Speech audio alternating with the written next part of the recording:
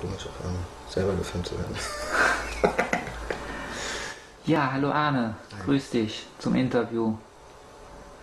Meine erste Frage, die richtig ein bisschen aus Neugier kommt. Äh, ich habe gehört, dass du in Hamburg wohnst und in der, an der Reeperbahn, äh, also in dem Viertel da, und dass du da auch irgendwie mit Menschen arbeitest oder Menschen zu dir kommen oder was. Äh, erzähl doch mal einfach ein bisschen.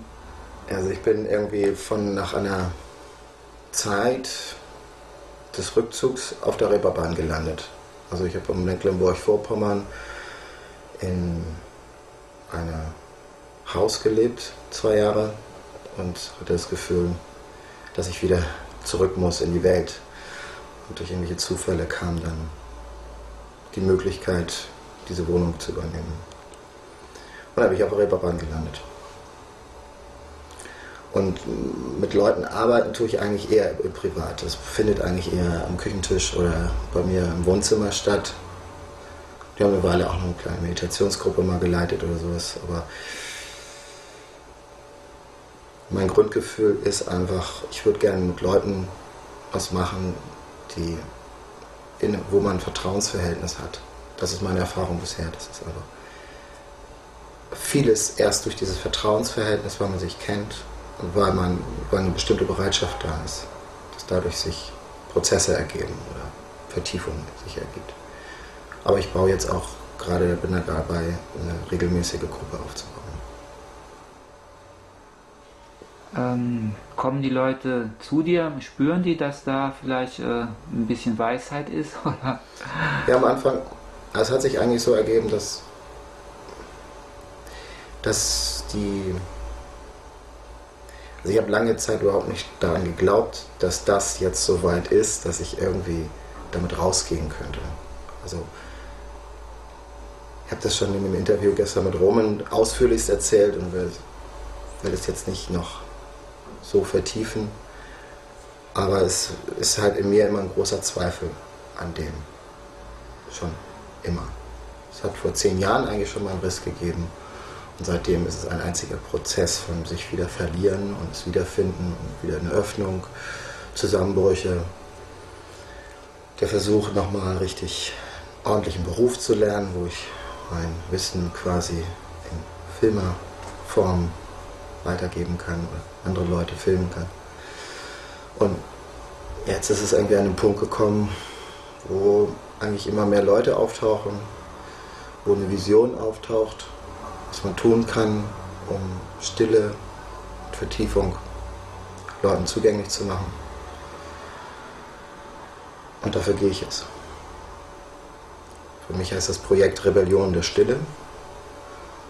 Und ich arbeite halt mit so ein paar Leuten um mich herum, die eigentlich eher Freunde, ehemalige Freunde, Leute, wo ich früher halt philosophieren konnte. Und die jetzt merken, dass auf einmal sie sagen, hey, sag uns das. So, ich möchte auch. Oder ich will auch aus dem Blödsinn hier raus. Rebellion der Stille, also das klingt nach Veränderung, nach ähm, ja, ich, ich, sehe das eigentlich so, dass, das, dass wir also auch gesellschaftlich in einer Veränderung sind. Eigentlich seit den 60er, eigentlich schon seit den 40, 50er Jahren, seit der Rock'n'Roll eigentlich aufgetaucht ist, bewegt sich ja was in unserer Welt. Es ist so, als ob ähm, die Leute einfach in so einer Rebellion immer stärker. Also die Jugend braucht quasi heutzutage irgendeine Art von Rebellion, um sich quasi von der Gesellschaft abzusetzen. Und dann rebellieren die eine Weile und dann gehen sie irgendwann wieder in diese Gesellschaft rein und sind wieder Teil davon. Und ich habe das Gefühl einfach, ja, viele Leute sagen das mit 2012 und, und dass da große Veränderungen kommen und so weiter, aber ich habe eher das Gefühl, dass es nicht so ein zeitliches Punkt ist, sondern dass es eher ein, ein kontinuierlicher, sich schneller entwickelnder Prozess ist, in dem unsere wahre Natur uns immer mehr offenbart wird. Wir haben jetzt eine Zeit erlebt, wo, wo unglaublich viel, früher waren es nur Einzelne, Osho oder auch immer, da irgendwie plötzlich der Erleuchtete war, wo man hingegangen ist. Seit Papaji in den 90ern sind es auf einmal immer mehr Leute, die Satsang geben Und wir leben jetzt in einer Zeit, wo, wo Erwachen einfach nichts so Besonderes mehr ist. Und ich empfinde es auch nicht als das, was ich früher gedacht habe, was es ist. Als dieser Big Bang und dann, sondern ich empfinde es als eine konstante Vertiefung und eine Selbstbeobachtung da drin. Und Rebellion der Stille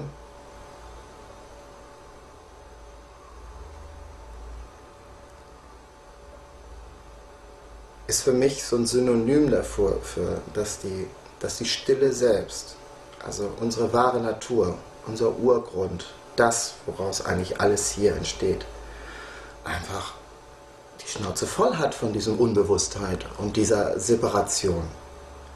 Dass einfach diese Ausdrücke, die, die ich jetzt genannt habe, die mit Jugendkulturen zu tun hatten und so weiter, nur Formen waren, wo eigentlich so eine Art Weckruf wo gesellschaftsverändernde Weckrufe stattgefunden haben, woraus dann die Beatles nachher zum Maharishi ja auch gegangen sind, woraus die Hippies eigentlich sich dann nach Indien begeben haben und, und äh, Gurus gesucht haben.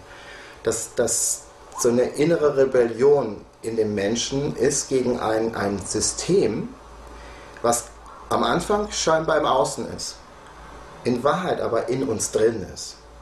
Weil diese äußere Welt ist nur der Ausdruck unserer inneren Welt. Das Imperium, was wir draußen sehen, das, was wir gerade erleben, dass das, das Bankensystem auf einmal anfängt zu wackeln, dass das Gesellschaftsformen global zusammenbrechen, das ist aber ein, Aus, ein äußerer Ausdruck eines inneren Raumes. Weil in uns ist dieses Imperium drin. Naja, ich würde sagen, in uns äh, ist äh, Egozentriertheit, also dass die Menschen aus dem Ego leben und das spiegelt sich im Äußeren in den Strukturen der Gesellschaft. Dieses Ego nenne ich Imperium. Aha. Also das ist ja quasi wie ein Imperium, was aufgebaut wurde über unser ganzes Leben. Es sind Konditionierung, es sind Glaubenssätze, auf denen unser, unser ganzes System aufgebaut ist, auf denen ein ein, ein Imperium, ein, ein System aufgebaut ist in uns. Ein System, was so fest ist, dass wir nicht mehr sehen, was die Wahrheit ist. Dass wir in diesem Moment lebendig sind. Und dass nur dieser Moment wirklich erfahrbar ist. Dass der Geist eigentlich nur ein Computerbildschirm ist, den wir in diesem Moment vorklappen um einfach mal zu gucken, ha, was war gestern, was passiert morgen, was habe ich noch zu tun, der und der mit dem und dem und so weiter und so weiter. Und dann klappt man ihn wieder beiseite und geht durch die Straße und genießt seinen Gang. Wir, sind, wir laufen durch die Welt permanent mit so einem Computerbildschirm vor der Nase. Und wir, wir registrieren das nicht mehr. Also wenn, Beispiel, jetzt sind wir hier in Berlin und in Hamburg kenne ich jede Ecke meine, der Stadt. Berlin muss ich wach sein. Ich muss genau hingucken, in welche Richtung ich gehe. In Hamburg habe ich das einmal gesehen, also jetzt ist es nicht mehr so, aber so ist es, wenn man das gewohnt ist. Man hat diese Straße abgespeichert in seinem Geist.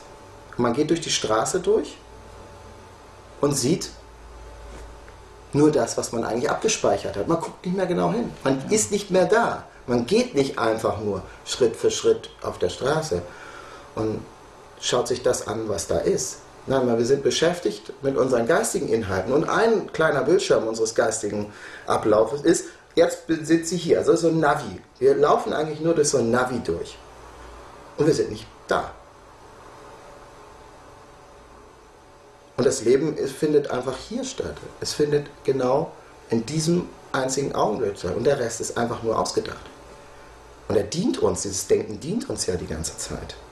Es dient uns dazu, den einen Moment mit dem anderen zu verbinden, Dinge aufzubauen. Evolution wäre ohne Denken ja für uns Menschen jedenfalls gar nicht so möglich.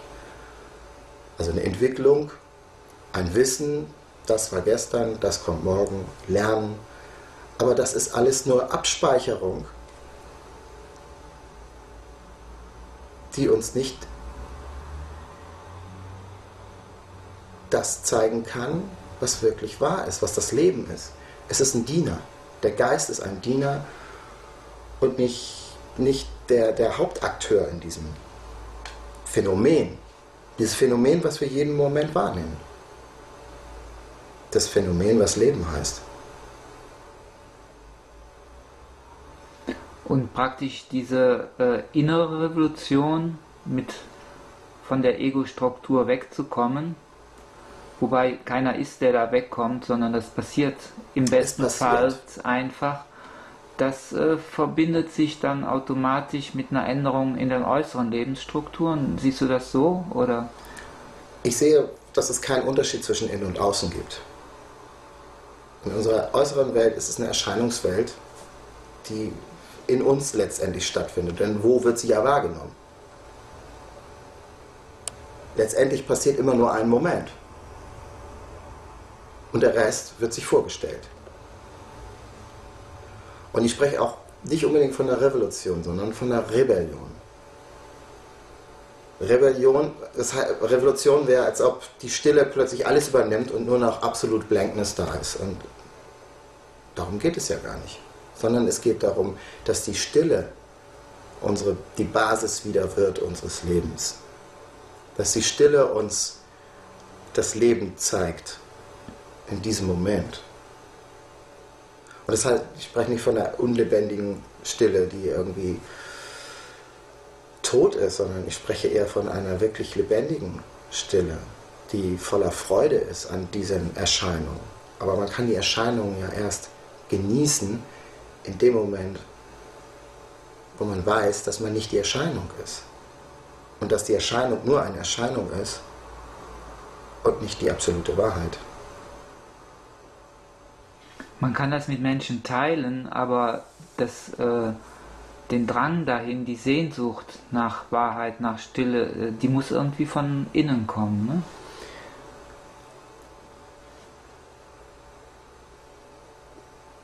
Ich sehe es halt so, dass die viele Menschen diese Sehnsucht nach Stille haben und auch spirituelle Wege gehen aber die Konsequenzen gar nicht wirklich auf sich nehmen wollen. Dass nämlich aus Spiritualität wieder eine neue Idee wird. Dass wir eine wunderbare, wir haben so tolle Meister haben können. Und gerade wenn man sich in dieser Szene aufhält oder man mal guckt, dass es so viele Leute gibt, die in welchem Grade auch immer aufgewacht sind oder erleuchtet oder wie auch immer, aber eigentlich alle von dem Gleichen sprechen. Von der einen Wahrheit, die sie ja dann erkannt haben. Und so viele Leute da sitzen und gucken und, und ja, es hört sich alles toll an. Aber eigentlich wollen alle gemein, sind sie eigentlich nur daran interessiert, Wellness zu machen. Ein bisschen Abstand von diesem schmerzhaften Leben, was sie führen. Die letztendliche Konsequenz das komplett zu hinterfragen, was hier wirklich wahr ist, das wollen die meisten Leute nicht. Die wenigsten Leute gehen wirklich zu einem Lehrer und sagen, okay, zeig mir wirklich die Wahrheit. Oder sind bereit einfach zu sagen, hey, ich gehe absolut in die tiefe Stille rein und ich lebe mein Leben nur noch von hier aus. Weil ich verstanden habe, was Papaji, was Ramana, was Osho gesagt haben, was uns das Zen beibringen wollen, dass es nur hier und jetzt gibt.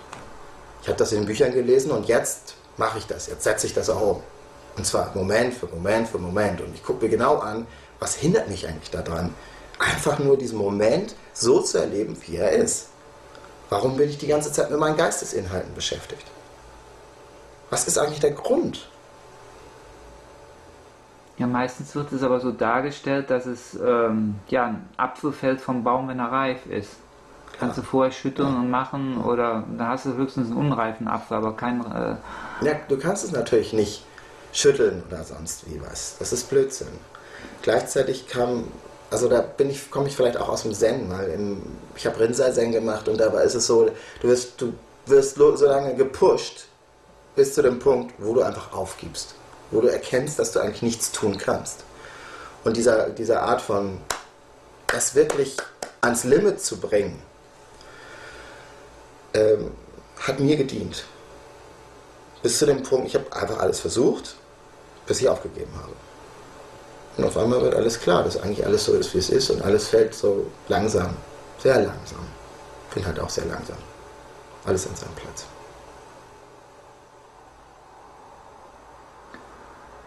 Du hast gesagt, Leute kommen zu dir. Ähm, sind das auch Leute so praktisch, es sind ganz normale Leute? Also jetzt sage ich mal äh, praktisch, es braucht keine spirituelle Vorbildung oder was. Also ist auch meine Beobachtung, dass Leute einfach äh, erwachen, die ja. vielleicht noch nie irgendwie genau. im Äußeren mit Spiritualität äh, eine Berührung hatten, ja.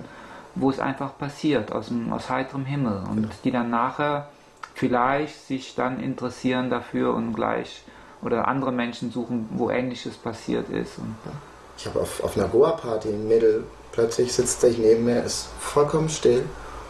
Und ich dachte, ist sie jetzt schüchtern oder ist, und spreche sie dann irgendwie an und wir haben stundenlang geschnackt und erzählt sie mir ihren Prozess. Und die hat zehn Jahre lang einfach nur gekifft und irgendwann mal gesagt, ey, ich verpenne hier mein ganzes Leben. Und äh, hat damit konsequent aufgehört.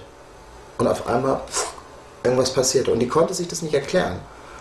Und ich konnte ihr plötzlich von Eckart Tolle und von Büchern, die ich ihr empfehle, irgendwie erzählen und äh, von Prozessen des Aufwachens. Sie, sie, hatte total Probleme, weil sie sagte, ich bin einfach nur, ich sitze da rum und meine Freunde wollen mit mir nichts mehr zu tun haben, die finden mich komisch, aber ich habe nichts mehr zu sagen. Es ist einfach so still. Und das war, war eine ganz tolle Begegnung, wo ich da einfach dachte, boah, das hat mich tief berührt, dass Leute irgendwie rumlaufen von dieser, diesem, dieser Stille berührt werden und, und sie vollkommen aus sich heraus transformiert werden. Und das ist für mich ein Beweis für das, was ich fühle. Ist einfach, dass diese, diese Stille einfach uns alle jetzt langsam schnappt. Und jeder, der das irgendwie wirklich vom ganzen Herzen möchte, die Möglichkeit hat, einfach in diese Stille reinzurutschen. Und was auch immer dann passiert, ob das Erleuchtung ist, ob das Auf, wie auch immer, diese ganzen Konzepte sind ja völlig hinderlich. hinderlich. Ich glaube, dass jemand, der diesen ganzen Krampel nicht gelesen hat und der wirklich voller Liebe und Ehrlichkeit einfach nur die Wahrheit hört und dann auf einmal sagt, ja, stimmt, es gibt ja nur einen Moment. Warum bin ich eigentlich die ganze Zeit mit Vergangenheit und Zukunft beschäftigt? Und das konsequent vielleicht durchzieht und anfängt zu meditieren, um herauszufinden, wie kann ich dem treu bleiben, dass das viel einfacher funktioniert als Leute wie wir, die wir irgendwie den ganzen Kram reingezogen haben bis zum geht nicht mehr und eine Welt voller Vorstellungen wieder von neuem aufgebaut haben. Was denn das nun ist? Und sich immer fragen, ja, es ist nicht beschreibbar, man kann es nicht in Worte fassen. Klar, das letztendlich kann man nicht in Worte fassen. Aber daran erinnern, so wie Papaji einfach nur immer wieder daran erinnert hat, so wie in jedem Satz eigentlich immer nur daran erinnert wird und auf diese eine Wahrheit verwiesen wird, das ist durchaus möglich. Und das ist eigentlich ganz, ganz einfach. Wenn wir diese ganzen Blödsinn, den wir irgendwie denken über die Sachen, einfach mal beiseite tun und da sind, wo wir sind. Und zwar jetzt, vom Bildschirm. Jetzt, da, du, der du das siehst, hast genau die Erfahrung, die du gerade machst. Und das ist es das zu akzeptieren, dass es nur das ist, das fällt dem Geist ganz schön schwer. Dass es nur dieses hier Sitzen gibt. Dass es nur einen Körper gibt, der hier sitzt. Und dass innerhalb dieses Körpers Gedanken erscheinen. Und dass dieser Körper und diese Gedanken und diese Welt einfach nur gesehen wird von einem stillen Beobachter in uns. Ich nenne ihn immer den Couch Potato. Da gibt es wie so einen dicken Couch Potato, so einen kleinen Buddha, der eigentlich in uns drin, ohne immer mit so einem offenen Mund, weil der sagt nichts. Der sieht aber alles. Der sieht halt die Schönheit genauso wie die Schrecklichkeit dieser Welt und der geistigen Inhalte. Er, der sieht die ganze Zeit zu. während Geistesinhalte passieren und der Körper durch diese scheinbare äußere Realität geht. Bloß dieser Couch Potato hat so dermaßen, deshalb nenne ich ihn Couch Potato, weil er sich ja diesen Film anguckt, der hat so dermaßen die Nase am Bildschirm, dass er nicht sieht, dass er selber einfach nur vom Fernseher sitzt und sich den Film von dieser Person hier anguckt. Aber was passiert, wenn der einfach mal sich entspannt und einfach mal guckt, was hier wirklich los ist? Sich ein paar Nachos nimmt und sich über den Bauch streichelt und merkt, hier ist es. Hier bin ich. Das bin ich. Das da draußen ist ein Film. Ich kann den Film sehen. Ich kann ja nicht der sein, den ich sehe.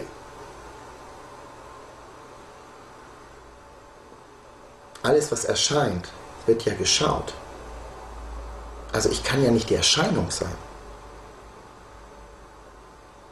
Die Krux ist natürlich, dass es letztendlich alles eins ist, aber das ist ein anderes Thema. Ich finde es interessant, das einfach mal so genau zu betrachten. Also die Welt als Dreifältigkeit von Gedanken, Gedanken, Emotionen. Also Gedanken lösen Emotionen aus. Die Emotionen sind wie eine, eine Verbindung zum Körper. Sie werden aber durch Gedanken ausgelöst. Und die physische Welt, der Körper, die Dinge, das Glas, der Raum, in dem wir uns jetzt gerade befinden. Das sind diese zwei Ebenen, die wir konstant wahrnehmen. Die meiste Zeit sind wir bloß in diesem Computerraum da oben, diesem Bildschirm beschäftigt, der immer vor die Realität geklappt wird.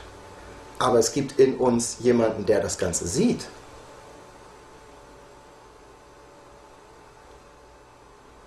Oder wo einfach Sehen passiert. Oder wo Ganzen. einfach Sehen passiert. Das ist, soll jetzt nicht an Worten. Also ich, ich mag einfach figürliche Darstellungen, damit ich das mir vorstellen kann. Es, wird, es geschieht ein Schauen. Es ist natürlich nicht figürlich. Das ist einfach nicht, das ist nicht fassbar dieses Bewusstsein, das reine Bewusstsein, was genau in diesem Moment einfach am Schauen ist. Und es ist dabei egal, ob wir gerade sehr bewusst sind oder ob wir sehr unbewusst sind. Das Bewusstsein ist das Bewusstsein, was dahinter steht. Ohne Bewusstsein wären wir uns nichts bewusst, logischerweise. Also muss es ja etwas geben, wo all das hier ankommt. Es gibt ja etwas, was, was all das hier sieht, was diesen Gedanken sieht und was diesen Körper und die Erscheinungen sieht was aber nicht selber gesehen werden kann, so wie ich nicht mein Gesicht sehen kann, wenn ich nicht einen Spiegel habe. So kann dieses Bewusstsein sich selbst auch nicht sehen.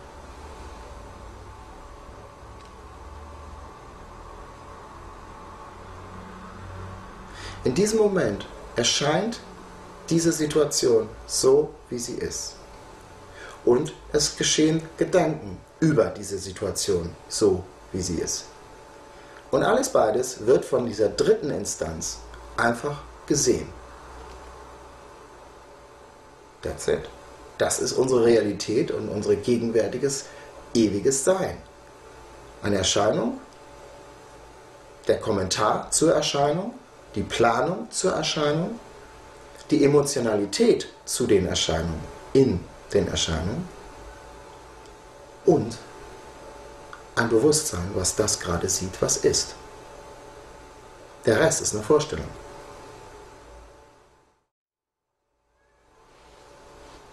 Und der Verstand wird nur funktional benötigt im Grunde, wenn was zu überlegen ist.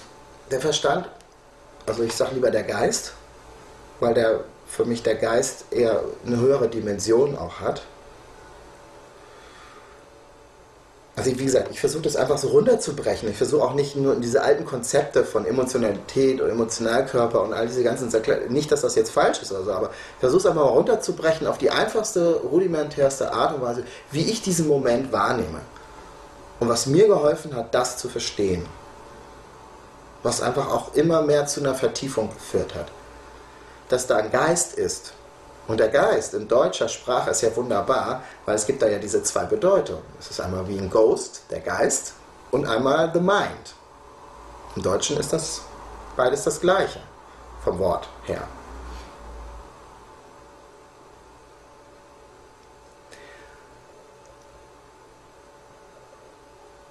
Der hat sicherlich noch ganz andere Dimensionen. Der hat vielleicht auch die Fähigkeit zu reinkarnieren und es gibt eine ganze Welt, die innerhalb dieses Geistes funktioniert. Aber das interessiert mich in diesem Moment eigentlich gar nicht.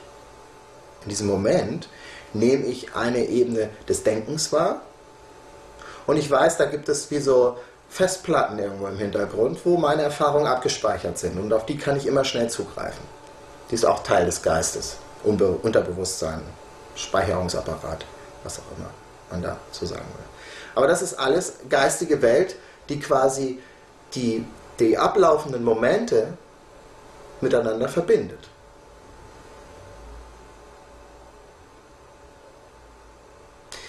Immer gibt es dieses reine Schauen dahinter.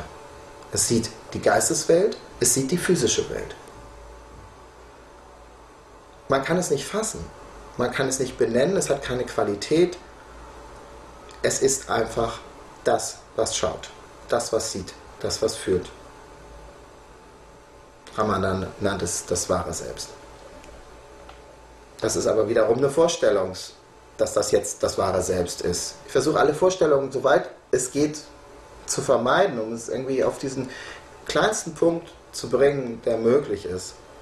Dass einfach in diesem Moment diese Erfahrung gemacht wird. Sie passiert nicht im nächsten Moment, weil der nächste Moment nur eine Vorstellung im Geist ist. Es ist eigentlich total simpel. Wir müssen dem bloß mal nachgehen. Wir verstricken uns immer wieder aufgrund irgendwelcher emotionalen Verbindungen und irgendwelcher Wünsche, die halt eben irgendwo immer in der Zukunft sind, mit einem unglaublichen Monolog im Kopf, mit einem unglaublichen Bildervielfalt, die wir über diese Realität projizieren. Es ist ja eigentlich so, dass wir hier durch die Welt laufen und die ganze Zeit ein Film nochmal extra auf diese Realität projiziert wird. Nämlich unsere Geistesinhalte und das, was wir über die Welt denken, wer wir sind, was wir zu tun haben, etc., etc., wie der über uns gedacht hat und, und, und, und. Ja, die eigentliche Wahrnehmung wird oft überlagert von einem Bild, was man schon im Kopf hat, genau. wie es wie die, zu sein hat. Wie ja. es zu sein hat, wie die Dinge sind. Aber dieses wirklich mal hier ankommen und was hier eigentlich für in diesem Moment für ein Phänomen stattfindet, dass hier ein Körper stattfindet, dass hier die Möglichkeit für Wahrnehmung stattfindet, dass hier unglaublich viele Eindrücke auf dieses Bewusstsein einprasseln, das vergessen wir weil wir so mit diesem Planungsorgan beschäftigt sind. Und das richtige Fühlen findet eigentlich im, Her im Herzen, also im Körper direkt statt. Mich hat dieses Ding berührt, das Ramana in seinem Buch sagt, wo kommen denn die ganzen Her Gedanken her? Wenn du genau forscht, kommen sie direkt aus deinem Herzen, aus diesem Punkt, den du nicht kontrollieren kannst. den du aber fühlen kannst. Jeden Schlag kannst, deines Herzens kannst du in diesem Moment fühlen. Und irgendwie poppen dann da Gedanken auf. Und die sind letztendlich, so ist seine Empfehlung in der Selbsterforschung, wieder zurückzuführen an die Wurzel. Und die Wurzel ist im Herzen. Und dann ist Stille. Weil wir in dieser Stille genau schauen, kommen wir plötzlich erstmal in diesem Körper wirklich an. Wir sind ja überhaupt nicht in unserem Körper. Wir fühlen ja gar nicht, wie der Körper sich gerade jetzt gerade anfühlt in diesem Moment. Wir haben ja nur einen Gedanken über den Körper. Aber den Körper wirklich zu beleben und ihn wirklich hier und jetzt vollkommen zu fühlen, dafür müssen wir Sport machen, dafür müssen wir irgendwie uns aktiv bewegen, damit da irgendwie Leben in den Körper kommt. Aber warum? Jetzt, wo ich hier sitze und still bin, ist der Körper doch da und sitzt hier. Und der Geist plappert einfach nur oben drüber. In diesem Moment plappert noch nicht mehr der Geist, das plappert einfach nur. Das ist dann das Phänomen, was ich dann irgendwann entdeckt habe, dass hier eigentlich gar niemand ist, der redet. Weil alles, was ich hier darüber zu denken habe, ob das jetzt gut ist, was ich hier gerade erzähle oder nicht, ob da totaler Schwachsinn ist, was so nebenbei nochmal irgendwie als Gedanken durchläuft, ist nur ein Kommentator. Weil letztendlich Reden geschieht, im Körper geschieht, das ganze Leben einfach nur geschieht. Und ein stiller Raum ist, der das einfach nur beobachtet. Der einfach nur daran teilnimmt und der alles fühlt, was zu fühlen ist. Die Aufmerksamkeit, die im Geist liegt, die erlaubt mir aber erst, das Ganze wirklich zu fühlen. Also erst wenn ich mein Bewusstsein auch wieder in den Körper leite, zurückbringe, ist es mir möglich, die Realität zu fühlen, wie sie ist. Deshalb ist es gut, Meditation zu machen oder Yoga zu machen oder was auch immer, einem hilft halt wieder zurückzukommen im Körper. Ich glaube, dass zum Beispiel das Phänomen dieser, dieser Yoga-Bewegung zum Beispiel eigentlich darauf basiert. Dass die Stille halt eben das Yoga benutzt auch, damit die Leute mal wieder zurückkommen, damit sie mal hier wieder fühlen und sie ihr, weißt du, wir haben im Computer ähm, das perfekte Abbild unseres Geistes erschaffen. Wir haben lange am Computer gearbeitet, von daher ist mir das Phänomen irgendwann vollkommen klar geworden. Das ist nichts anderes als ein Computerprogramm hier oben. Aufgespeichert mit all diesen ganzen Erinnerungen und fertig gemacht dafür, bestimmte Dinge zu tun. Fertigkeiten gelernt, aber auch Schmerzen und all die ganze Scheiße, die wir in unserem Leben erlebt haben, ist alles da drin abgespeichert. Das Problem bei der ganzen Geschichte ist halt, wenn wir hier wirklich mal ankommen, in diesem Moment, wenn wir hier wirklich in diesem Herzen hier ankommen, in diesem Moment und wirklich mal still werden, dann poppen von innen diese komischen Gefühle hoch, die wir am Anfang nicht definieren können. Das Gefühl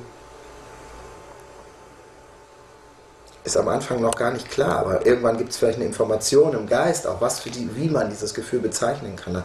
Aber am Anfang ist es vielleicht einfach nur unangenehm. Wenn man sich hinsetzt und einfach nur still ist, sitzt man eine Weile still, dann poppt wieder ein Gedanke nach oben und man sollte dieses, ach, du musst dran denken, das musst du noch bezahlen. Und ach, na, okay, jetzt meditieren wir mal ein bisschen.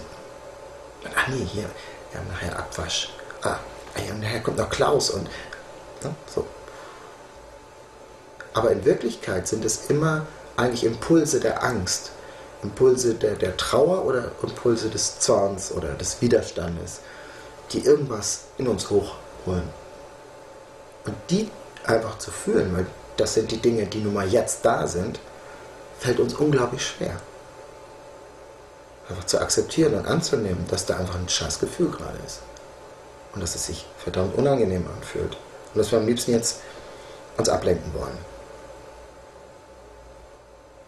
Also das Gefühl fühlen ohne den Inhalt, also ohne die Story, ohne den ja. gedanklichen ja. Inhalt. Vielleicht ist es ja manchmal dann auch gut, wenn man dann weitergeht, irgendwie auch die Story sich mal genauer anzugucken und, und therapeutische Arbeit zur Hilfe zu nehmen, wenn sowas hochpoppt. Also ich, mir hat das sehr gedient, mal, aber mit meinem spirituellen Lehrer therapeutische Arbeit zu machen. Weil wenn man zum normalen Therapeuten geht, der will einem nur wieder erzählen, dass man jemand ist. Bloß die Feststellung, dass hier eigentlich nur eine permanente Wahrnehmung stattfindet, dass eine Person stattfindet, dass eine immer wieder neu eine Identifizierung mit dieser Person einfach stattfindet, davon kann er einem nichts klar machen. Und das macht es dann natürlich ein bisschen schwierig.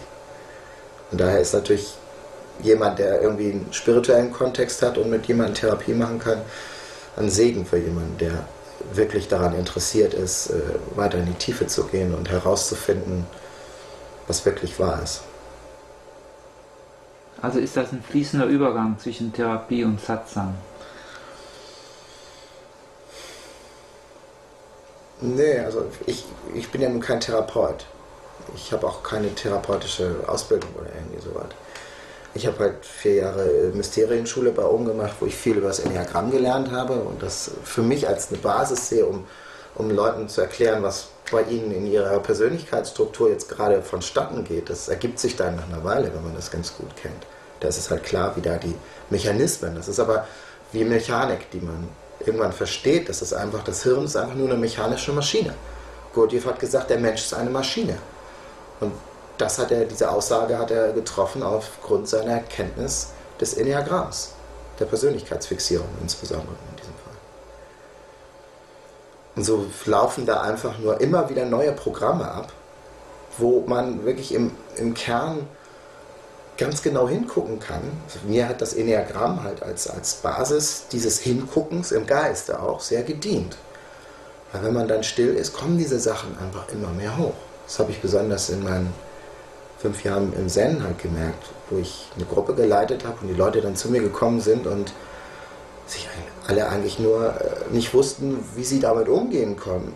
Was denn nun alles hochkommt, wenn sie da einfach in Stille sitzen. Wenn sie konsequent eine halbe Stunde in Stille da sitzen, sich nicht mehr bewegen und sich einfach nur in sich reinfühlen und beobachten.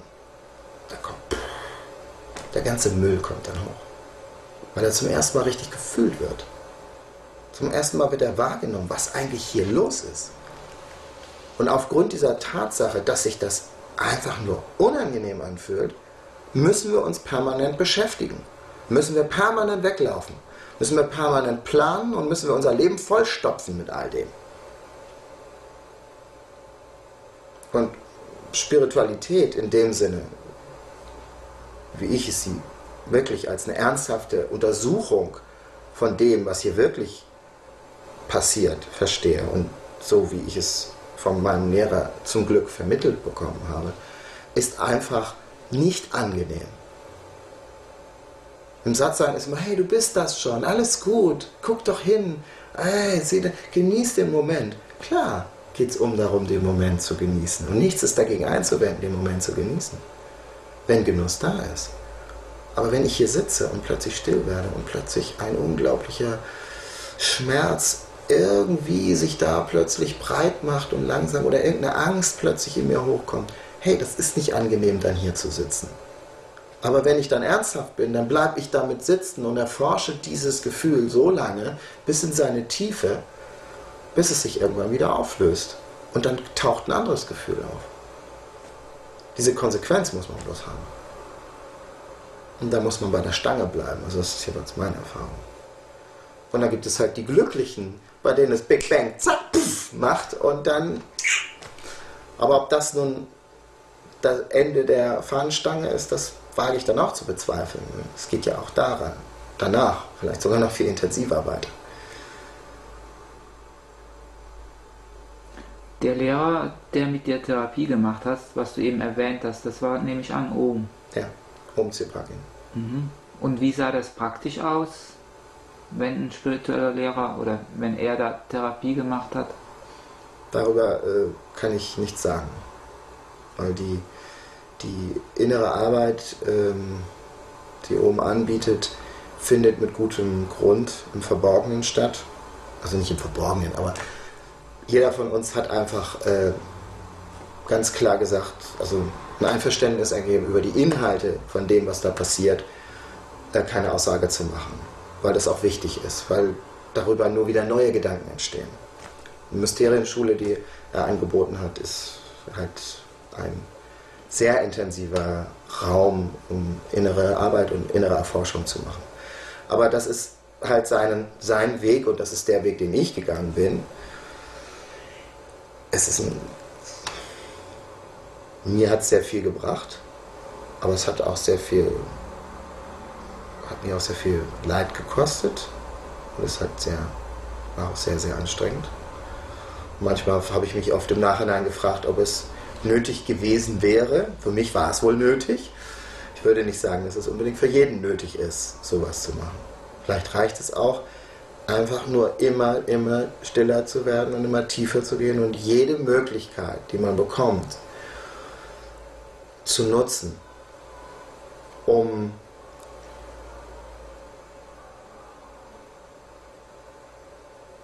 sich genau seine Geistesinhalte spiegeln zu lassen. Meine Erfahrung ist die, dass es eine Entscheidung bedarf. Es braucht eine ganz klare Entscheidung.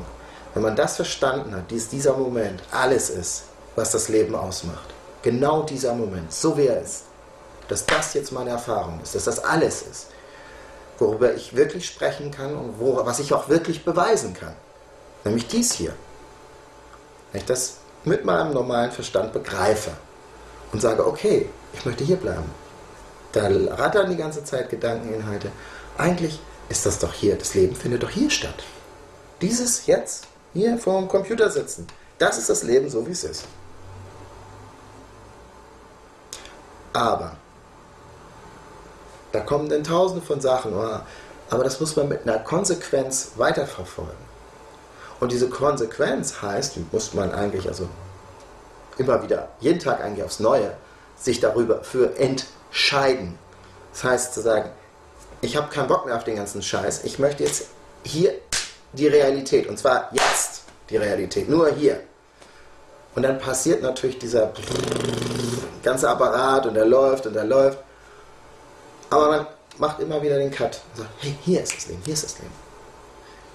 Ich habe so das Gefühl, es ist dann, als ob man einen Ruf aber, wenn man diese Entscheidung in der vollen Inbrunst seines Herzens macht, also für mich war es oft einfach dieses, mein Gott, ich will nicht mehr. Ich habe so die Schnauze voll von diesem Wahnsinn hier. Das war ein Schrei aus meinem tiefsten Herzen. Und dann aber auch die Konsequenz dabei bei diesem, bei diesem Erscheinung, also diese wirkliche Entscheidung, wirklich zu bleiben und sich dann alles vorführen zu lassen. Weil es, es ist so, als ob das Universum einem dann richtig zeigt, was hier eigentlich abgeht gerade. Und was für ein Blödsinn ich mich beschäftige. Und das wird gespiegelt in äußeren Ereignissen dann können die unglaublichsten, schlimmsten Dinge passieren. Meine Freundin verlässt mich, ich werde meinen Job los, all die schlimmsten Ängste, vor denen wir große Angst haben, könnten passieren. Aber wenn ich mich einmal entschieden habe, kann ich das nur noch als Erscheinung, also als äußere Erscheinung meiner Konsequenz sehen und einfach nur in dem bleiben und das zu fühlen und da bei mir zu bleiben und das tief in meinem Herzen einfach zu fühlen, das wahrzunehmen und damit zu bleiben und in dieser Stille und egal was auch immer passiert und wenn diese gesamte Welt zusammenbricht, ich bleibe in dieser Stille, ich bleibe wach und ich gehe weiter. Das heißt nicht passiv zu bleiben und jetzt so, oh, ist alles durch, bricht halt alles zusammen und ich weiß ja gar nicht nichts, was ich tun soll. So, das habe ich teilweise halt auch gemacht. Ich saß dann da und, oh, ich, keine Ahnung, was soll ich jetzt machen? Nein, aber weitermachen, das, was die Impulse sind, die Dinge, die man zu tun hat. Aber alles, was dann kommt und passiert im Außen, einfach bewusst als Resultate dieser konsequenten Erscheinung zu sehen und durch alles durchzugehen, was einem davon, was einem dann gezeigt wird. Ist deine Erfahrung auch, dass äh, in dem Fokus hier jetzt, dass da dann auch Sachen verbrennen, also ja, Emotionen und Strukturen, genau. äh, die vielleicht erst nochmal sich ganz richtig ja. zeigen in all ihrer äh, Intensität und vielleicht sogar Schrecklichkeit und genau. aber die dann irgendwie sich auflösen. Ja, das, das verschwindet dann einfach. Man aber muss bloß dabei bleiben und nicht auf dieses Drama aufsteigen. Natürlich ist das Drama da. Man ist dann, alles kommt hoch. Das ist emotionales Chaos. Weil man nämlich gesagt hat, okay, ich möchte wissen, was hält mich hier eigentlich davon ab, in dieser Gegenwart zu bleiben und dieses Leben als das zu erfahren, was es wirklich ist. Und auch mal die ganzen Ideen von Glückseligkeit und Friede, Freude, Eierkuchen erstmal eine Weile zu vergessen. Weil es ist nicht schön, mich pur und nackt zu fühlen und meine ganze Struktur zu fühlen, die immer mehr das, den Anschein hat, zusammenzubrechen. Es gibt dann immer weniger Dinge, an denen man sich festhalten kann. Das ist ja der unangenehme Teil dieses Prozesses. Wir haben ja die Vorstellung, hey, ich möchte so gerne Erleuchtung erlangen, weil dann bin ich aus dieser ganzen Scheiße raus. Dann interessiert mich das alles nicht ja. mehr und dann sind meine Probleme gelöst und dann habe ich irgendwie eine gute Zeit hier. Passiert eigentlich genau das Gegenteil. Die es ganzen Sachen genau kommen Gegenteil. nach oben. Es ist, es ist ein Kreuzgang. Letztendlich kommt mir manchmal so unsere christliche Story von Jesus eher als ein Beispiel vor, worum es geht. Es geht um einen Kreuzgang sich ans Kreuz nageln zu lassen und auch das Vertrauen zu verlieren und diesen großen Zweifel. Und Vater, warum hast du mich verlassen?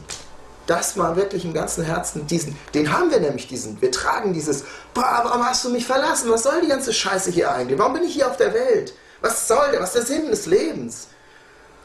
Ja?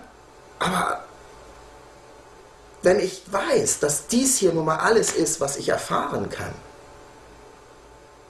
nur dies, dass dieser Moment nichts Besonderes ist, dass es nicht darum geht, immer Eierkuchen und Sahnetörtchen irgendwie zu bekommen, sondern dass es darum geht, als wenn mal ein Glas Wasser zu trinken, dass nichts Besonderes ist.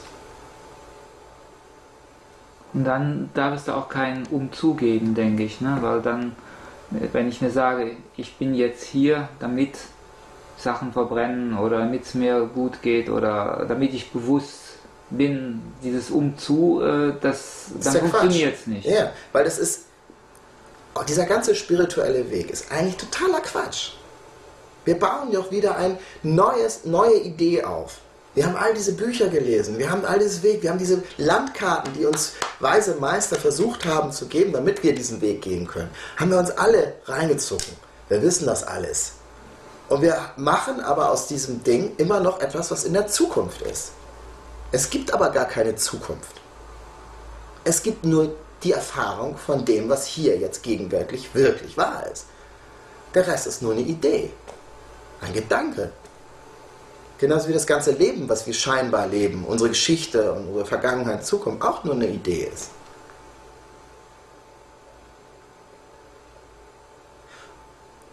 Und wenn wir diese, deshalb diese Konsequenz haben da drin,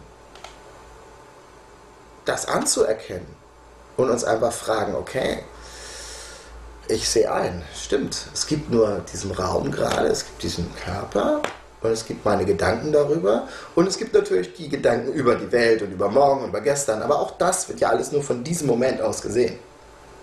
Wenn ich das für mich erkenne und sage, okay, wenn das wirklich alles ist, was ist, dann kann ich doch einfach mal anerkennen, dass das hier wirklich das Leben ist. Und dass dieses Leben vielleicht gar nicht so rauschend, besonders, außergewöhnlich voller Sahnetörtchen ist, sondern dass dieses Leben einfach nur dieses jetzt hier vom Computer sitzen ist. So wie es ist. Dass ich einfach mal fühle, wie mein Hintern auf dem Stuhl sitzt Einmal tief durchatme und spüre, dass ich da bin. Und dass das jetzt Leben ist. Und dass ich aus diesem Leben hier, wenn all diese Vorstellungen vom Leben, von dem, was ich zu tun habe, wer ich sein muss, sein will, etc., etc., wenn sich das alles immer mehr in so ein ich akzeptiere, was ist. Ich. Das löst sich alles auf in so eine Okayness. Also es ist alles okay, es ist so, wie es ist. Hey, du bist am Leben. Und du hast eine Macke, du hast totalen Blödsinn im Kopf. Und du hast einen Haufen Schulden und du hast äh, eine Freundin, die irgendwie nicht freundlich zu dir ist und du hast sexuelle Probleme und du hast dieses und du hast jenes und du möchtest gern das und du möchtest gern das und ja, das ist so. Aber jetzt sitze ich hier und nehme all das wahr, dass diese ganzen Bedürfnisse, diese ganzen Tendenzen, diese Glaubenssätze, all das in mir drin ist.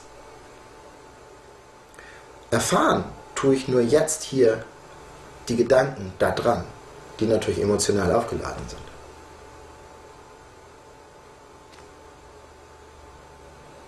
Wie wichtig ist der Kontakt mit jemand, der das selber erfahren hat oder jeden Moment erfährt?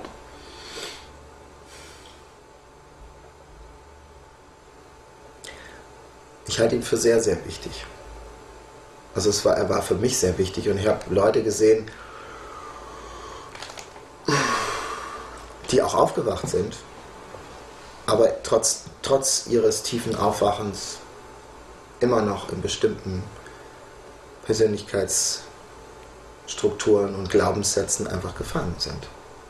Und da immer noch kein wirklicher Frieden ist, obwohl eigentlich die Erkenntnis vollkommen klar ist. Von daher ist schon, glaube ich, die, die, die, das Zusammensein mit jemandem, der das erfahren hat, von fundamentaler Bedeutung. Aber ich glaube, dass es noch viel wichtiger ist, dass wir uns selber ernst nehmen in unserer Suche. Weil nicht in unserer Suche, sondern uns ernst nehmen in unserem Hier-Sein. Weil die Suche ist ja auch nur eine Idee im Kopf.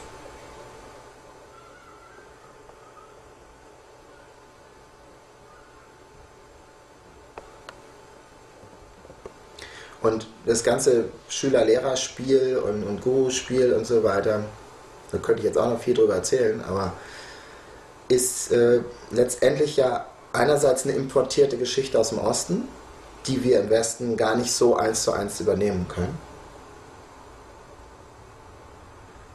Weil es da um Hingabe geht und um, um, um ein Gefühl, was wir hier gar nicht so kennen das ist wunderbar, wenn wir, wenn wir jemanden treffen, der auch hier im Westen das irgendwie transportieren kann. Aber für die meisten Menschen ist es nicht nachvollziehbar. Wenn man mal in Indien gewesen ist und wenn man mit bestimmten Lehrern gewesen ist, wie es halt in der spirituellen Szene auch der Fall ist, mag das in gewissen Maßen auch Sinn machen. Weil man sich vielleicht dann darauf einlassen kann. Aber für die meisten Leute ist sowas einfach unakzeptabel. Besonders in Deutschland, wo wir eine Adolf Hitler gehabt haben.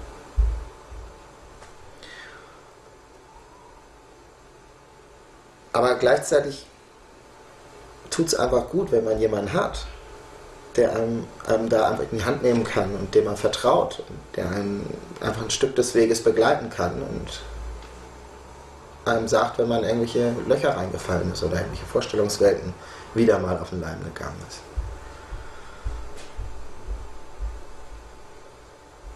Aber eigentlich für die wirkliche Erfahrung braucht es letztendlich keinen Lehrer. Ich glaube, dass jemand, der konsequent für sich selber das verstanden hat und das in aller Konsequenz geht und Hilfe annimmt, die, die nötig ist und auch so wach ist. Das ist natürlich eine Reife, Frage der Reife. Ob jemand so wach sein kann, dass er all diesen ganzen Kram in sich erkennen kann und sich am richtigen Moment vielleicht an jemanden wieder wendet, wo er sich Hilfe holen kann und im nächsten Moment sagt, okay, danke, jetzt habe ich es verstanden, zum Gestalttherapeuten gibt und, und irgendwie nochmal irgendwie seine Kindheit sich genau anguckt oder irgendwas und danach sagt, alles klar, danke, jetzt kann ich weiter in meiner Präsenz bleiben.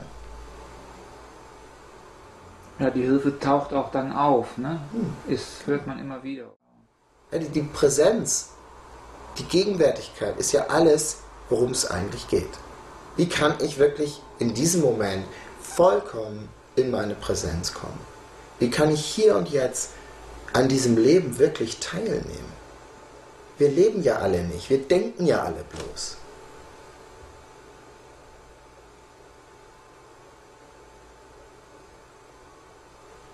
Wirklich, wirkliches Leben heißt, dass ich wirklich fühle, dass ich bin, dass jeder Moment eigentlich, jede Bewegung hat hat so eine Schönheit eigentlich in sich. Und ich, wir verpass, also ich verpasse das auch oft immer. Es ist eigentlich erst in der letzten Zeit, dass plötzlich auf einmal diese Schönheit von, von diesem, diesem Körper, der so sinnlich ist, eigentlich erst so richtig für mich erfassbar wird. Vorher war das immer noch Theorie. Ich versuchte immer stiller zu werden und immer stiller zu werden und habe immer daran gearbeitet, dass ich irgendwie mehr Gegenwärtigkeit in mein Leben reinbringe und dass ich mich mehr verwurzel und obwohl es klar war, irgendwie hatte ich immer das Gefühl, ich rutsch immer wieder in die Stories ab. Sobald ich irgendwie vom, eine Weile vom Computer gesessen habe, sobald ich irgendeine Geschichte von jemandem mir angehört habe, habe ich wieder irgendwo, war ich wieder weg.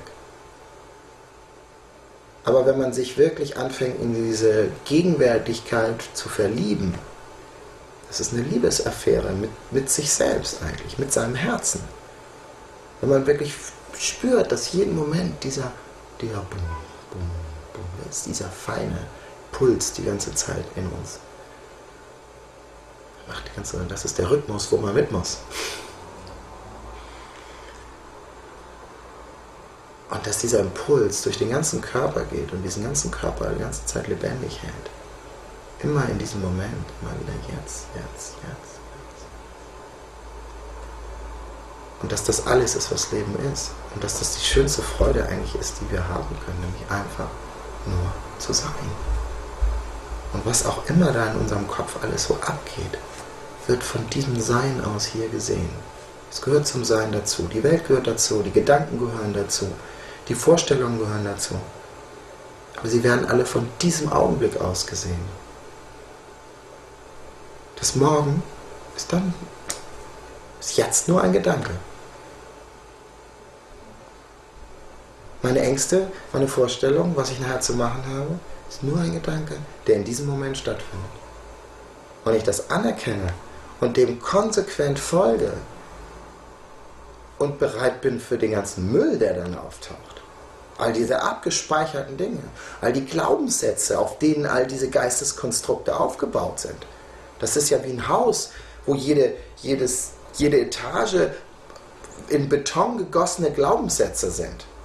Wenn wir die so Stück für Stück abarbeiten, ja, das ist jetzt, sagen wir mal, entdecken, oh, ich glaube ja, das ist so. Ich glaube zum Beispiel, dass ich das und das bin und das und das nicht kann oder das und das kann und dass ich das und das darstellen sollte und so weiter. Und immer wieder hinterfrage, oh, oder entdecke, oh, pum, da bin ich wieder auf einen Glaubenssatz ange, angelangt, bumm, wieder ein Glaubenssatz. Und man geht quasi Etage für Etage für Etage, Etage runter. Dann kommt man irgendwann mal wirklich der, am Boden an. Und da gibt es natürlich dann noch die interessanten Dinge. Nämlich die, die wir uns auf gar keinen Fall angucken wollen. Das sind die Dämonen im Keller. Schleimige Monster, denen wir auf gar keinen Fall begegnen wollen. Wenn wir aber da unten angekommen sind und immer mit dieser Bereitschaft und Konsequenz eigentlich dabei sind, dann können wir uns vor diese Kellertür setzen mit einer Tasse Tee. Und dann können wir unsere Dämonen, die da unten rumrödeln, die werden nämlich spüren, wenn wir still werden. Die fangen nämlich an zu zittern. Und das kann auch richtig körperlich. In der Traumaarbeit zum Beispiel fangen die Leute an zu zittern. Das ist wie, ich kann es nicht fassen, was, das da, was da dann hochkommt. Aber dabei halt eben in dieser stillen Präsenz zu bleiben und dass sich alles, ich meine, und dann halt eben sowas wie Traumaarbeit oder was auch immer man dann braucht, sich zunutze zu machen. Einfach da zu sitzen still seinen Tee zu trinken, diesem Dämon den Tee anzubieten und der springt dann in die Decke und macht und tut und versucht uns richtig irgendwie an den Arm zu ziehen und uns irgendwie zu bewegen. Wir ziehen nur immer nach und bleiben sitzen, bis der Dämon keinen Bock mehr hat und dann verschwendet er auch. Bis er genug Aufmerksamkeit bekommen hat. Ne? Genau. Er braucht nur eine Weile Aufmerksamkeit, er möchte gefühlt werden. Es sind doch letztendlich nur Gefühle, es sind einfach nur Dinge, die wir einfach die so schmerzhaft waren, dass wir sie irgendwie verkapselt haben. Wie ein Worunkel irgendwie, den wir unter der Haut hatten und der, der sich verkapselt hat. Und das tut einfach weh, den mal wieder auszudrücken oder da ranzugehen und den rauszuholen. Und das ist alles. Der muss ans Licht, dann muss da wieder Luft ran und dann verheilt das langsam wieder. Und wenn ich das nicht alleine kann, dann gehe ich zum Arzt und lasse ihn mir rausschneiden. Aber das ist für mich das, was eigentlich hauptsächlich Stille und Präsenz und wirkliche Gegenwärtigkeit verhindert. Und dann ist das Leben so, wie es ist. Und mal ist es laut und mal ist es still. Mal macht Spaß, mal macht keinen Spaß. Aber ich weiß dann immer mehr, dass ich dieser stille Couch Potato bin, der da hinten sitzt und sich den Film von Arne anguckt und einfach egal, was, was da passiert, ob da tolle Dinge passieren oder ob da schlimme Dinge passieren, es ist nur ein Film. Klar, irgendwann gibt es vielleicht auch die Möglichkeit, dass aus diesem Sein heraus einfach, dass dieser Film in so eine Art Dirigierung, dass es einfach wirklich zu einem Orchester wird. Dass ich halt einfach auch nicht nur hier zuschaue, sondern dass ich dann irgendwann, wenn mein Geist einfach ähm, so weit geklärt ist und runterkommt, einfach auch fähig bin, diesen Geist als Visionsinstrument zu benutzen und anfangen kann, vielleicht mit Klarheit auch die Realität so zu kreieren, wie es mir entspricht.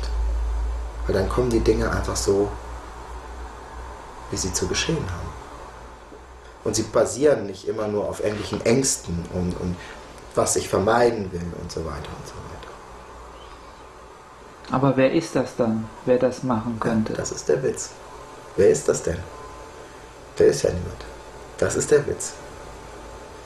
Aber das ist ein kosmischer Witz, den der Denkende hier eigentlich gar nicht versteht. Der kosmische Witz ist ja, dass es letztendlich einfach nur ein einziges Geschehen ist. Dass auch diese spirituelle Suche, dieses, diese Entwicklung, diese inneren Kämpfe und die lange Zeit, die man scheinbar braucht, um irgendwas zu verstehen, einfach nur ein kosmischer Witz ist.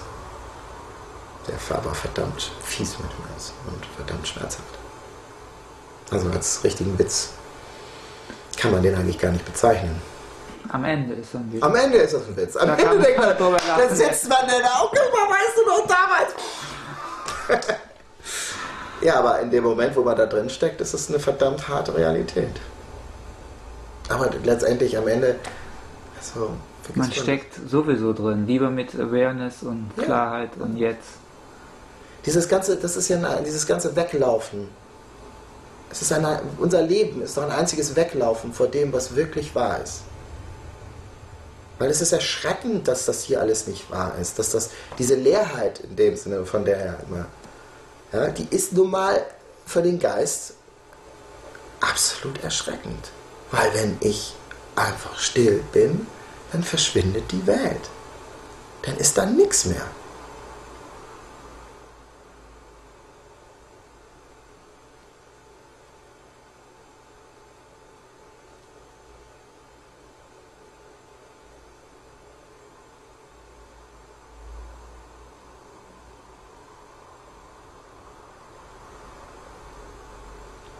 Aber das ist nur eine Vorstellung jetzt.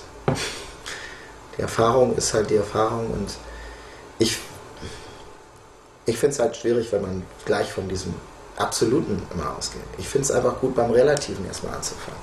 Ganz einfach. Bei dem, weil das andere Rest ist alles Theorie.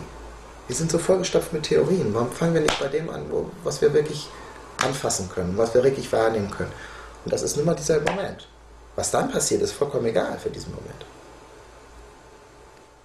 Ja, manchmal können Theorien äh, auf mich auf jeden Fall relaxend wirken. Ja, klar. also, dass Dafür ist man auch in sich Ordnung. entspannen Dafür kann. ist es okay. Und, und, Ich meine, das, Ja. was ich jetzt alles erzählt habe, ist ja, auch nur eine, ist ja auch nur eine Theorie.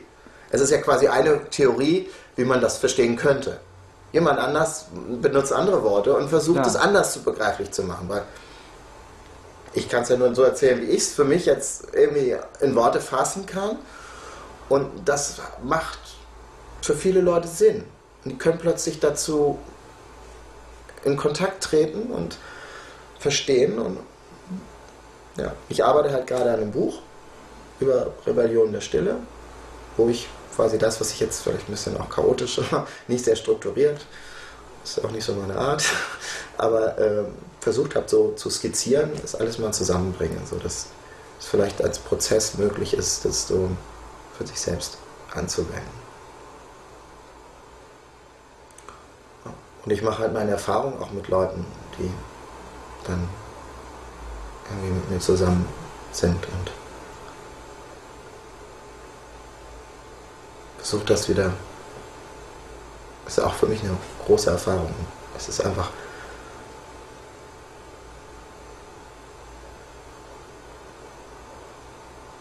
Es ist einfach ein Geschenk, immer mehr in diesem, in dem hier anzukommen, in dem zu, zu, zu sein, zu bleiben und zu, zu erkennen, dass der andere ja einfach nur ein Teil von mir ist. Und wir zusammen quasi hier einen Tanz aufführen. Und wenn der eine quasi irgendwie ein bisschen was verstanden hat, er den anderen bei der Hand nimmt und ihm einfach zeigt, wie eine Drehung funktioniert.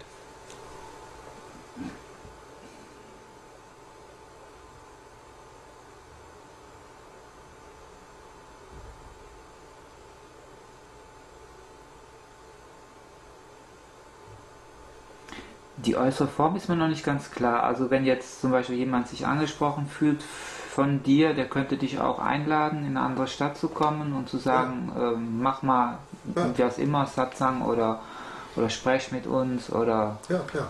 Also bisher ist es so, dass ich gehe einfach nur dem nach, was, was von außen kommt. Also zu diesem Kongress bin ich nur gekommen, weil da jemand war, äh, der mich ernst genommen hat und für den das ein guter Prozess war und der dann gesagt hat, hey, komm her, mach das. Weil ich habe mir immer gesagt, also ich, ich will das nicht pushen.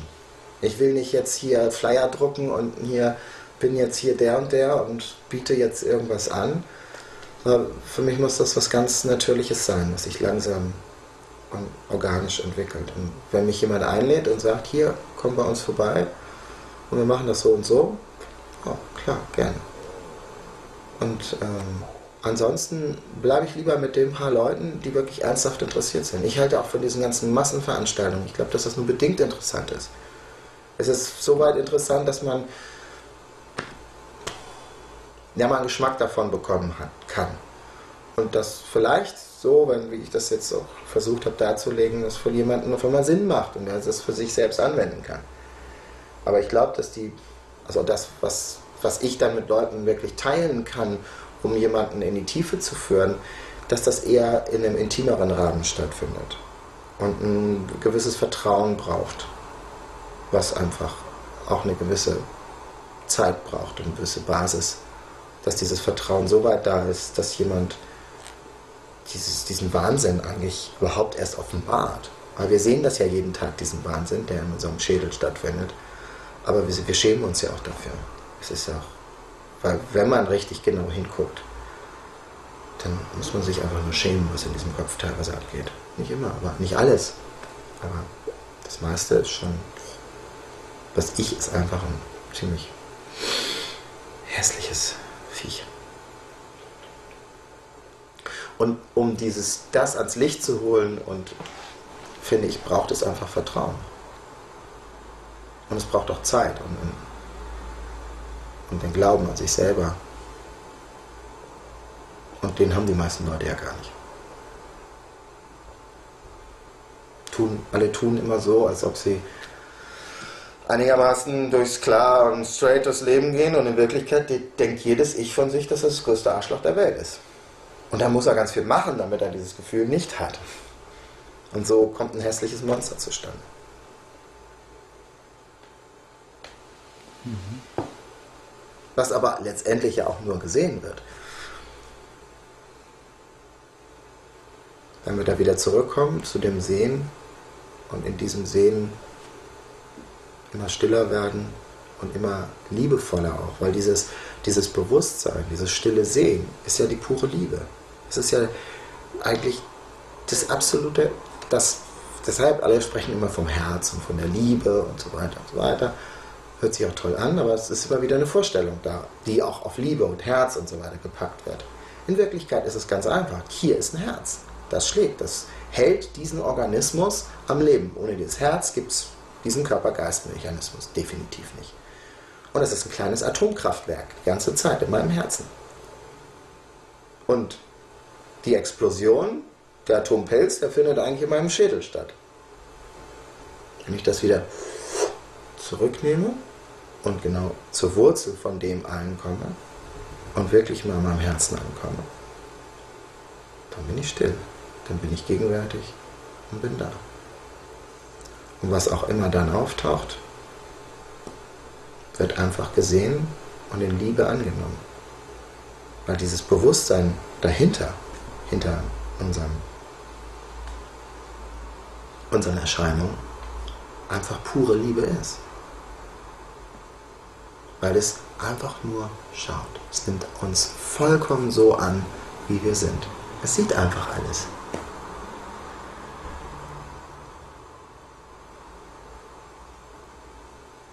Und das ist der, dieser Punkt, wo einfach alles in Ordnung ist, wie es ist.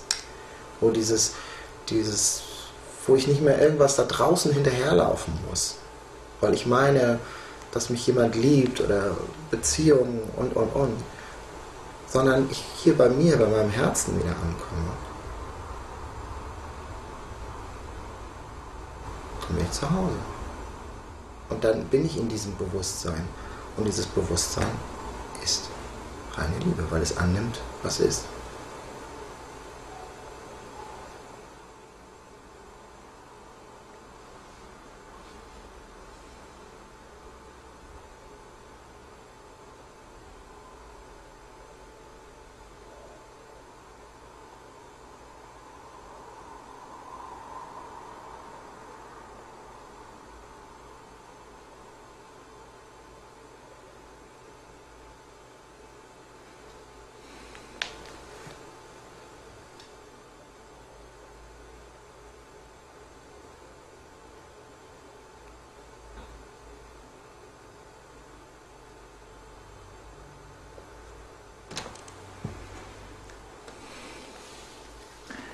Fragen sind mir ein bisschen abhanden gekommen, was ja vielleicht kein schlechtes Zeichen ist.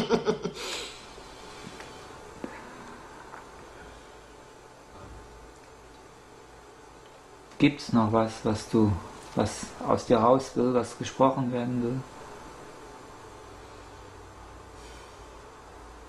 Du hattest nach irgendeiner Methodik oder, oder, oder sonst was gefragt oder wie eine Form und so weiter. Mhm. Es entwickeln sich quasi gerade Formen. Also ich halte halt Satzang für ähm, ein Auslaufmodell. Jedenfalls die Form, wie wir Satzang jetzt kennen. Was aber, was da kommt, was das ersetzt oder was da anders sein könnte, habe ich im Moment noch keine Ahnung. Wie gesagt, ich habe auch ein paar Mal äh, jetzt so, so Satzang gegeben und meine Erfahrung ist, dass dann teilweise so eine Massivität auch bei mir durchkommt, die Leute, die normalerweise so stille, nette Satzangs gewohnt sind, ähm, eher erschreckt. Weil man dann wieder eine Vorstellung hat, wie denn so ein Satzang ist und was es, was es dann wäre. Und ähm, aber ich weiß genau, dass die Intelligenz, die hier das alles irgendwie vorantreibt, schon irgendeine Form finden wird. Und ich schaue einfach, was, was sich ergibt. Und da gibt es schon so ein paar Ideen, die ich aber erst aus der Erfahrung heraus aus, so ausarbeiten will, bevor ich damit irgendwie, irgendwie rausgehe oder so. Ja, du hast einen Blog, äh, ja. wo, wo man Texte lesen kann von dir. Ja, also das Erste, was, wo ich das Gefühl habe, ich muss mal anfangen, jetzt rauszugehen, weil ich jetzt halt eben, das ist eigentlich, dieses Rebellion der Stille ist halt, ich glaube, ich habe es heute gerade ein bisschen sehr chaotisch irgendwie durcheinander gebracht, aber da ist jedenfalls ein Text drauf auf diesem Blog, Rebellion der Stille, Blogspot oder so ist das, glaube ich. Ähm, den kannst du ja da unten mit reinpacken noch. Da versuche ich quasi in einem Text das mal auf den Punkt zu bringen, im Groben, was, was für mich so die, die Basisstruktur ist. Und jetzt bin ich halt gerade dabei, da das in dem Sinne in Buchform zusammenzufassen und damit rauszugehen. Und dieser Blog ist so mein erster Schritt, rauszugehen. Und dieser Schritt hat dann auch dazu geführt, auf, auf diesem Kongress halt. zu erscheinen.